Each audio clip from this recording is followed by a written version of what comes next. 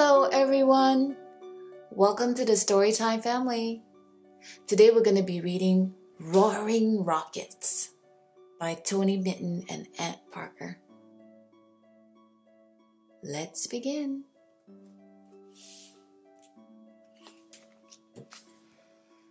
Roaring Rockets.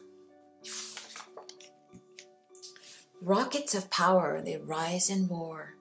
This rocket's waiting ready to soar. Wow. Rockets carry astronauts with cool white suits, oxygen helmets, and gravity boots.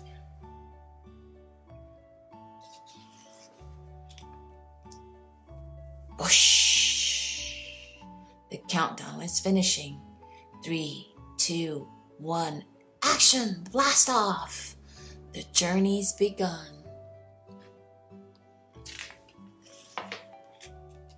Rockets of fuel in great big tanks.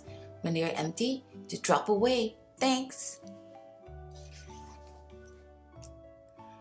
Up in space, you're really light, so astronauts strap themselves in tight. Don't forget your safety belts. Oops. See, he's floating away because there's no gravity.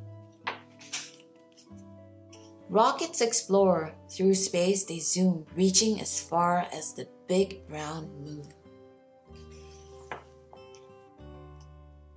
Out comes the lander with legs out ready and fiery boosters to hold it steady.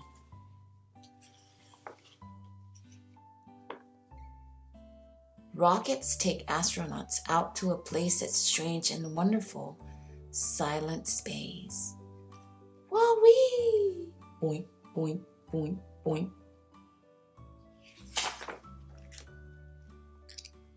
Moon mission over.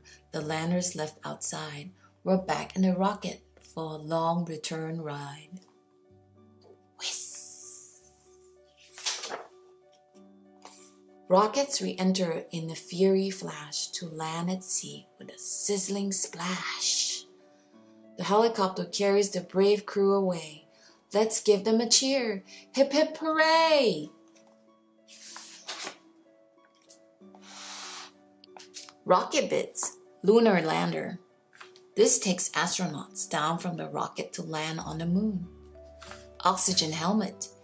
We need to breathe oxygen, but there is none in space, so astronauts carry their own supply, which flows into their helmets.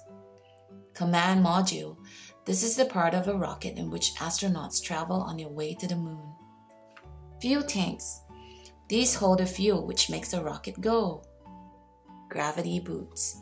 Gravity keeps us on the ground, but there is not a lot on the moon, so boots are worn that grip the ground and stop you from floating off. The end. Did you like Roaring Rockets? We did. Give us a like and subscribe. Take care now. See you soon. Bye bye.